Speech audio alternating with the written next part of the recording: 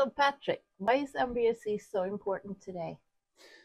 I think as the complexity is um, increasing almost every day, you need something to get an overview, to get to get your systems together, to be able to work in a structured way, uh, to be able to um, detect errors, um, to be able to handle your requirements and, and uh, work with your validation and verification process in a dynamical way, for instance. But why is that more important today than earlier?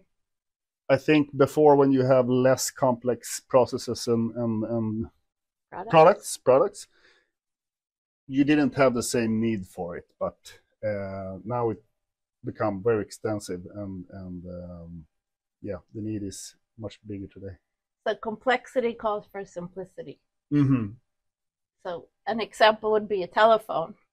A- Yeah. A mechanical telephone Absolutely. used to be just a piece of equipment connected to the wall. So the use case was to use the telephone for one purpose in a room.